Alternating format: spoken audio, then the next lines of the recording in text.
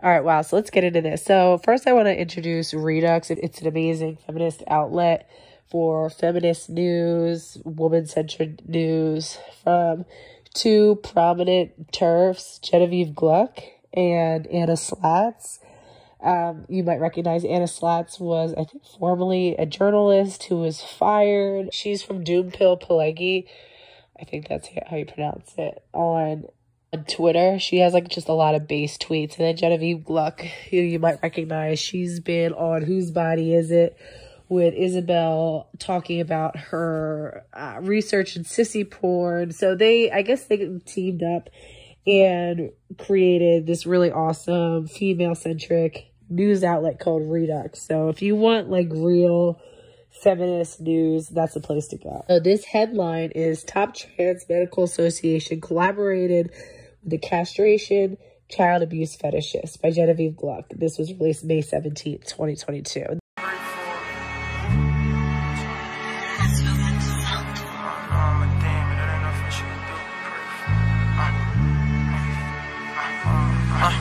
My mom know I'm a demon. It ain't nothing she could do but pray for me. This is really, this is, this is the slippery slope and it's not a fallacy. This is the slippery slope. You know, they say it's a slippery slope fallacy. It's not true. Oh, you want to open one door. No, this is where we're headed. It's like a frog who boils, right? If you take a frog and you throw them in boiling water, they're to hop right out. They feel that, that hot, immediate you know, it burns their skin. But if you take a frog in neutral room temperature, lukewarm water, and you slowly boil them, well, they'll boil to death because the incremental changes are so minute that they don't recognize from one degree to the other until they're boiling. Um, and that's what we're doing. We're boiling to death because we're making these incremental changes towards hell. So it says the World Professional Association for Transgender Health, or WPATH. That's who sets like the international guidelines. So the International Medical Association, which sets guidelines for the medical transitioning of children, has been collaborating with participants of a fetish forum that hosts and produces fictional child pornography and extreme sadomasochistic content. On December 3rd, 2021, WPATH released draft guidelines which included for the first time the category of eunuch here are the chapters, and in red, you see the new chapters that we have uh, decided to include in uh, the new standards of care. And um, I'm just going to go through these quickly, but the, the ones in red again are the new uh, chapters. Some we've just divided uh, some, some previous chapters into too. And uh, so. As a protected, quote, gender identity. So, anybody who saw my two part series of Nullo, which featured uh, nullification surgeries, which is basically people who want to eradicate their sex. They're neither female nor male, they're just asexual. It is like an extreme body modification up until this point has been considered very, very niche. It's been predominantly um, concentrated around uh, middle aged men. But now I believe we're seeing some more cases of who are severe sufferers of child sexual abuse, right? Who want to basically render themselves non-abusable by removing their genitalia. This, this is horrific. That WPATH is rather than recognizing it as a symptom of, you know, a very hurt and harmed individual, a very disturbed individual who needs, is desperately seeking treatment and who is calling for help. It's they're they're legitimizing it, justifying it as a legitimate decision for one's body. This is just, this is insane. Was a part of a projected gender identity. WPATH has updated 8th edition of their Standards of Care, SOC, which recommends medical treatment and services for those with a self-declared gender identity, describes the relationship between, quote, eunuch identified people and other transgender people, end quote. So for those who don't know, a eunuch is traditionally throughout history, uh, eunuchs have been a class of men whose genitals were removed, um, who were castrated. And in China, they would cut their penis and their balls off, their penis and their testicles off. Uh, in Europe, in Italy, we would see it in the Roman Catholic Church where boys would be castrated for the purpose of being part of the castrati, which is so that they could sing at a very high pitch, maintain a high pitch so that their uh, voices would not change until the Pope outlawed it. So throughout history, you know, they've often been, the eunuchs were often used as a class of males who were eligible to serve females. So that would be the males who would be servants to the queen or to the concubines or the wives of some sort of male ruler, and this is to render him impotent so they wouldn't have to worry about cuckolding the male leader. Uh, but now we are bringing it back because, like Vanessa Vokey said, history loves to repeat itself. It says the document states, quote, eunuch identified people may share with other gender diverse people a desire for reduction or elimination of masculine physical features, masculine genitals, or genital functioning. Just fucking Christ. It also goes on to claim that eunuch identified people may suffer from the same minority stress as other stigmatized groups and refers extensively to research collect- collected from a hardcore fetish site called the Eunuch Archives, a site that features child sex- sexual exploitation fantasies centered around stopping little boys from going through puberty. The Eunuch Archives. Wow, I actually saw this. This is I was looking at this when I was doing my research for the Nullo two part series. That this is this this is legitimizing. We've been saying it the P is going to be added to the LGBTQ acronym. This is where this is headed. This is the they're finding every way in to get in. And this is the umbrella that they're going to hide. This is the Trojan horse. The Eunuch Archive began in late 1990s in collaboration with body modification e-zine, BME, and was initially hosted on the same site.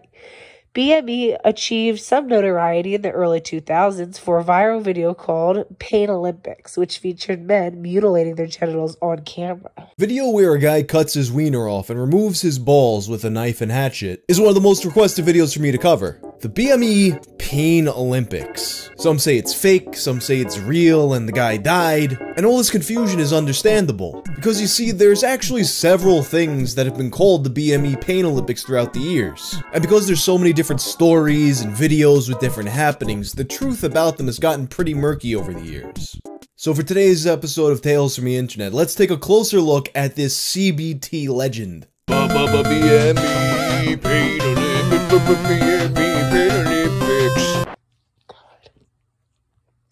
Yeah, but we want to do this to children, right? That's totally legit. Prior to the official launch of the archive itself, members would congregate on a Usenet forum by the same name, which advertised itself in a news group dedicated to sadomasochism, alt sex bondage, a discussion group credited with coining the acronym BDSM in 1991 in the news group alt-eunuchs.questions member in the news group alt.eunuchs.questions members shared castration fantasies offered services traded castration photos and videos sought to connect with young men to feminize asked them asked for advice on chemical castration and recommended doctors willing to perform surgeries without psychiatric evaluations Huh, what does that sound like? Sounds exactly like r slash trans.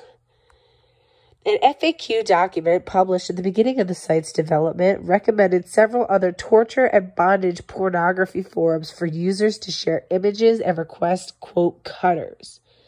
So, to clarify, cutters are people who would be willing to help you mutilate your genitals and to take on that sort of legal liability, which I'm sure there is some. But obviously, WPATH is looking to eliminate legal liability for helping uh, mentally unstable, porn addicted males from mutilating their genitals.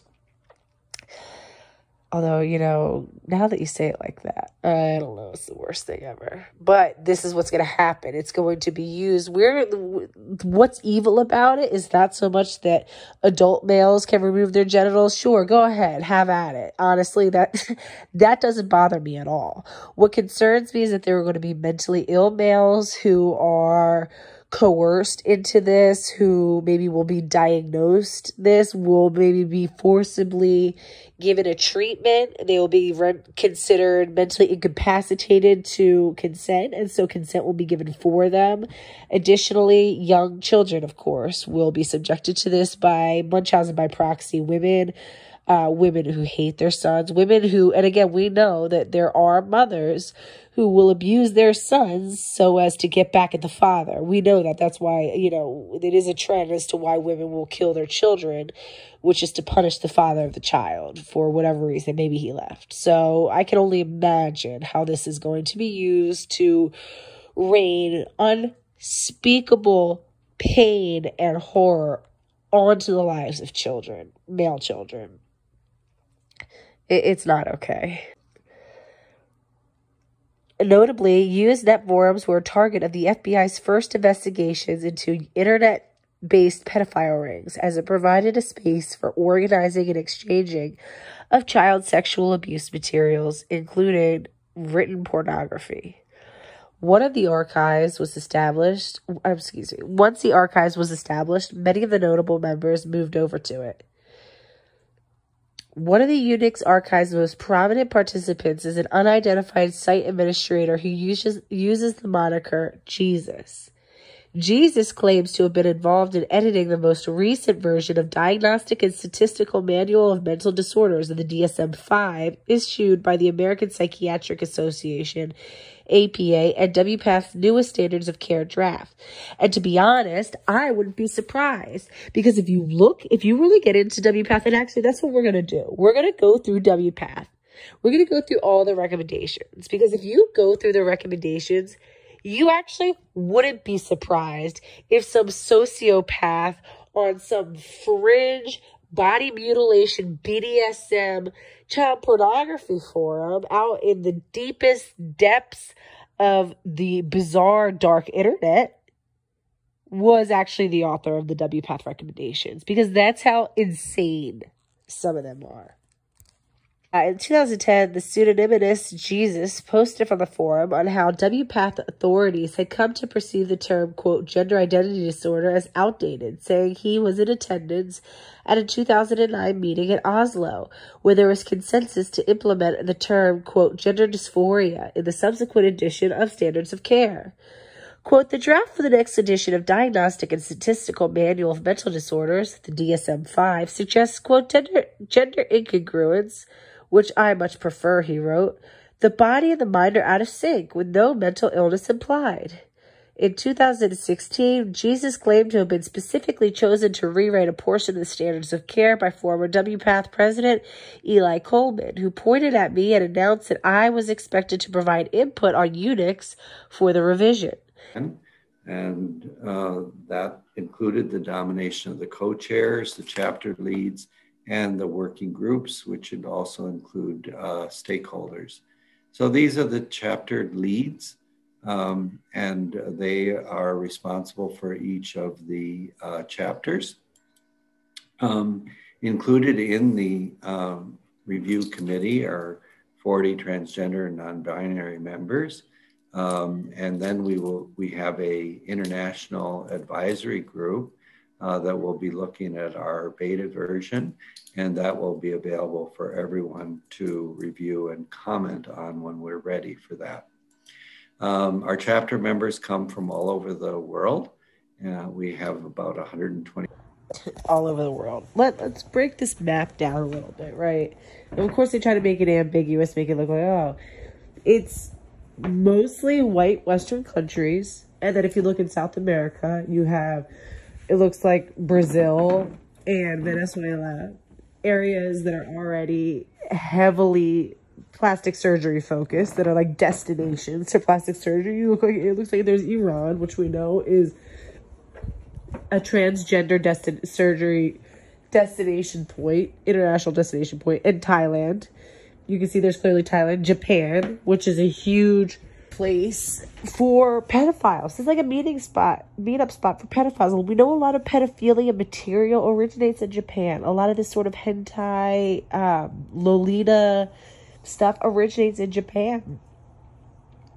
Obviously, New Zealand, Australia, um, U.S., Russia.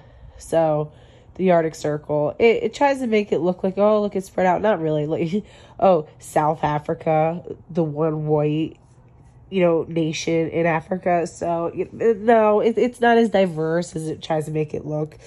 This is a very exported Western ideology, as you can even tell, and is reaffirmed by this map. Now is our opportunity to help devise the standards of care that will be most helpful, right, Jesus? So th- this is really like the the just the hellscape that we're in. Do you understand? This is the dystopia hell that we're in. We're incels from message boards are being recruited by our trusted medical institutions to give advice and to help write standards of care. We're in hell, guys. This is where we're at.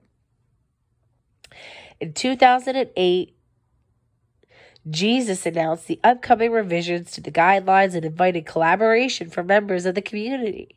In response to WPATH's most recently released draft standards of care December last year, one site member professed to being absolutely delighted and said he would gladly throw millions under the bus in order to secure, quote, a future where doctors must obey and have no right to demand reasons or withhold surgery and medication. Wow. Let's read that again. In response to WPATH's newly released draft Standards of Care in December last year, one site member professed to being, quote, absolutely delighted, end quote, and said he would, quote, gladly throw millions under the bus, end quote, in order to secure, quote, a future where doctors must obey and have no right to demand reasons or withhold surgery and medication. So basically, where doctors have no right to use their judgment or discretion, and that they must just render whatever is demanded of them, to perform whatever surgery is demanded of them. They are just to be puppets, to just perform a task. In WPATH's draft standards of care, the Eunuch Archives fiction archive is directly acknowledged and named. Wow. Wow. Thank God for Genevieve. Thank God for women who are. Nobody else is going to pay attention to this if we don't. Nobody else is going to pay attention to this if we do not. Is directly acknowledged and named, but the document does not mention the large amount of stories within the archive that directly involve the sadistic sexual abuse of children. The stories primarily focus on the eroticization of child castration. In some, little boys request the procedures themselves and express gratitude to the adults who perform the operations. In others, children may be forcibly castrated under extreme duress. Some narratives contain violent, sexualized depictions of children with stunted puberty being raped by doctors, written in, in sickening detail. Jesus Christ. God, you guys, this is who is writing the standards of care. When, when the next time that somebody tells you, oh, well, doctors are all on board with the trans, and doctors say, just remember that those so called doctors, that those so called standards of care are being written by sadistic people who run dark web internet forums. This is the hellscape we are in. Make no mistake.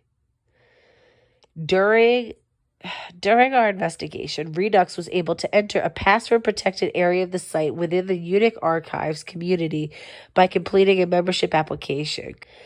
New members who apply for a registration are presented with a series of boxes to tick depending on their interest in joining the forum.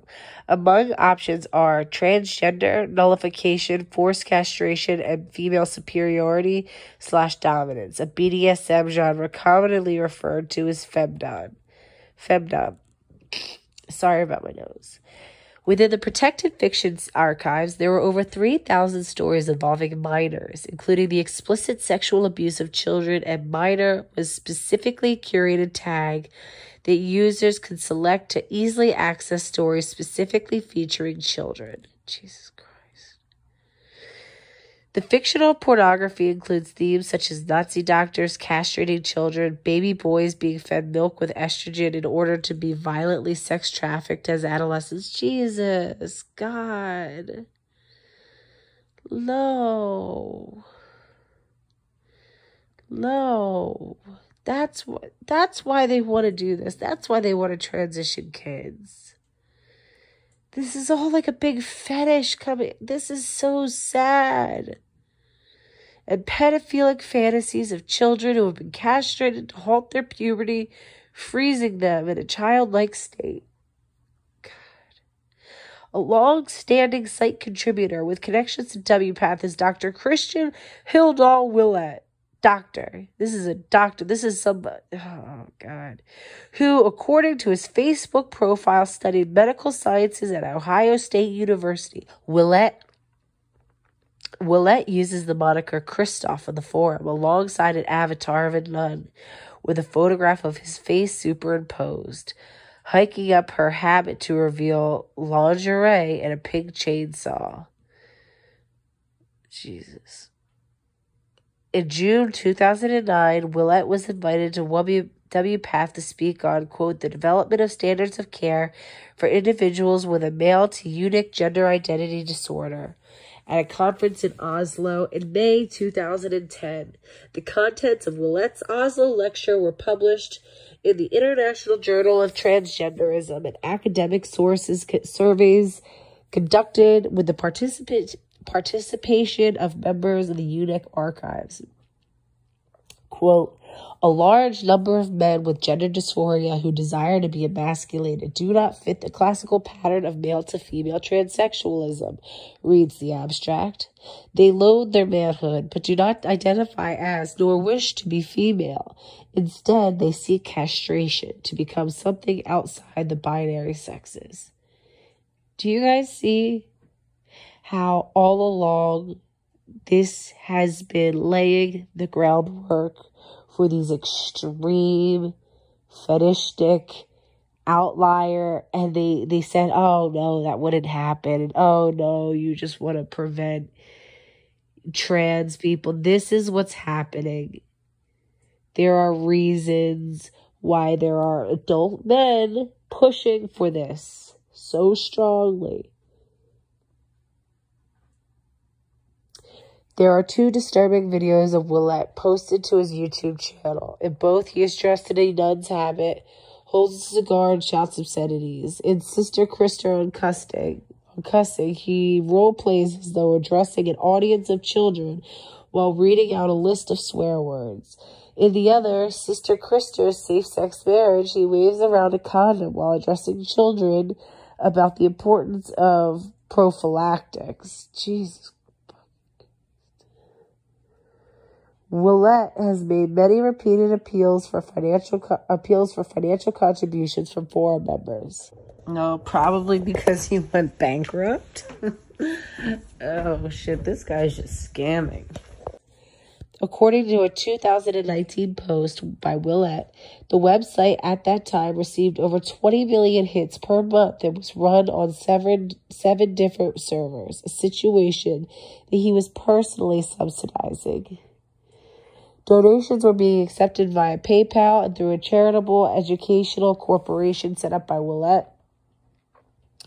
Donors were instructed to send cash payments to a P.O. box in Minneapolis registered under the name Wareham Wyvern. Documents obtained by Reduxx reveal that Wareham Wyvern, sorry, I don't know the fuck, I know how to pronounce this was dissolved by the state of Minnesota for a violation of the Nonprofit Corporation Act, which asserts that the organization's activities may not be for personal gain. For nearly two decades, the Eunuch Archive has hosted an annual, quote, meeting of the members. The event is held in Minneapolis, Minnesota, Willett's area of residence, and is co-hosted by Willette and the pseudonymous Jesus. Uh, Minneapolis is also where WPATH's headquarters were based for years. Interesting. Interesting. As well as the city where former WPATH president Eli Coleman currently lives and works. Coleman served as a lead chair overseeing the most recent updates of the WPATH standards of care. In 2008, a group of researchers from Canada and California collaborated on a research project on the topic of male castration fetish and publicized their findings in a paper titled A Passion for Castration, characterizing men who are fascinated with castration but have not been castrated. These are the men who are creating the standards of care that are influencing everything down to children's pediatricians. My pediatrician, who I've trusted for years, the same pediatrician that I went to as a child, my children now go to, came in wearing a lanyard with the LGBTQ plus flag. They wouldn't have done that a few years ago. That is brand new. This is a trickle down, and it's starting from these nefarious, dark spaces. I know people there. Listen, I literally dated somebody who is now a physician. Sorry, my cats are fighting in the background you know, we, we like to think of these people as these pure, honorable, principled people, but they're not. A lot of times they're really, really normal, you know, and they're, they're these really type A hard workers. And this is what my, my ex-boyfriend used to say is that, you know, we work hard and we play harder. He said a lot of doctors in medical school did drugs. They were doing a lot of cocaine. Um, they were into like hookers so a lot of it's about the glory, a lot of it's about the high achievement. A lot of them came from families that put a lot of pressure on them. And they are not these principled people that we we like to believe that they are, not always. Um God, let's see. Uh All right, so Minneapolis is also where WPATH's headquarters were based for years, as well as the city where former WPATH president Eli Coleman currently lives and works. Coleman served as a lead chair overseeing the most recent updates to the WPATH standards of care. I just said that. In 2008, a group of researchers from Canada and California collaborated on a research project on the topic of the male castration fetish. Oh, I just did that. Okay. According to the research, the majority, 52% of quote wannabes who fantasize about castration, whether chemical or surgical, selected sexual fantasy of their origin of interest in castration. Several respondents wrote about becoming sexually aroused when witnessing animal castration. What?